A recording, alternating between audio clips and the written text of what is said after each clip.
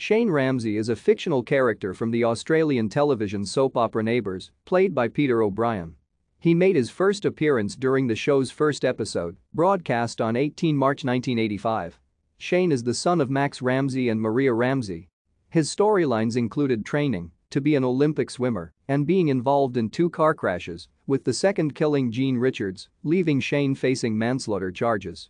Writers also created a relationship story with Daphne Lawrence. O'Brien decided to leave Neighbours in 1986 and Shane departed during the episode broadcast on 3 March 1987. O'Brien reprised his role in July 2022 for the series' finale.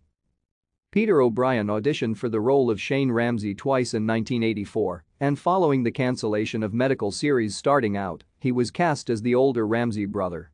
O'Brien made his debut in Neighbours' first episode. Shane was one of Reg Watson's original Neighbours characters. The role of Shane made O'Brien a household name in his home country of Australia and overseas. Thank you for watching. Like and subscribe if you would like to view more of our videos. Have a nice day.